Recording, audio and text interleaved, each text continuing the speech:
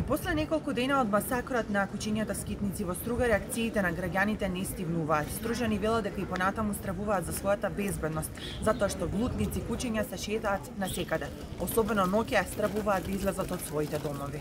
Стружани со поделени ставови за инцидентот од пред неколку дена, но велат кога властите не преземаат ништо, ние мора сами да се браниме. Обивањето на животните со пушка не е опција и затоа бараат од општината итно да изнајде решение за проблемот. Страшно, мене ме фати пред овде кај зградата нова 10 кучиња и реков се пушти сите. Сега ак не ме јадат, ме јадат, ме јадат, што да правам?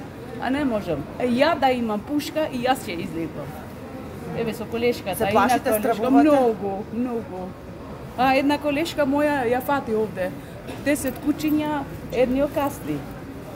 Не знам, не знам как ќе се, се живеат овде. Плашиме, како да не се плашиш? И дете да си, и голем да си се плашиш. Скитници, кучиња. Стравуваме сигурно, нормално дека стравуваме. Не знаеш од ќе те зачекат. Иначе гледаме, само вака пра. Ама не знаеш од ќе те зачекат. Пратениците од ВМРО ДПМН од Струга велат дека поднеле амандман за изградба на соодветно прифатилиште за бездомните кучиња, но коалицијата СДСМ дуи го одбила без образложение. за 2023 година поднесовме амандман со кој што баравме да се обезбедат средства во висина од а, 12 милиони денари за изградба на прифатилиште за овие улични кучиња каде што тие кучиња ќе се заловува, ќе се кастрира, ќе се стерилизира и вакцинира и така понатака тие кучиња немаше да представуваат проблем за за стружани и за сите кои што ја посетуваат Струга.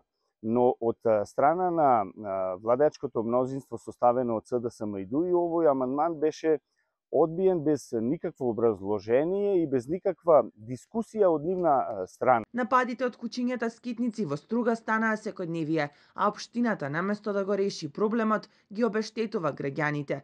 Иако не откриваат која сума на пари ја потрошиле досега, информациите кои кружат во јавноста се дека минималната сума по лице е 500 евра. Од 2019 до сега во Струга напад од куче скитник пријавиле околу 80 на граѓани.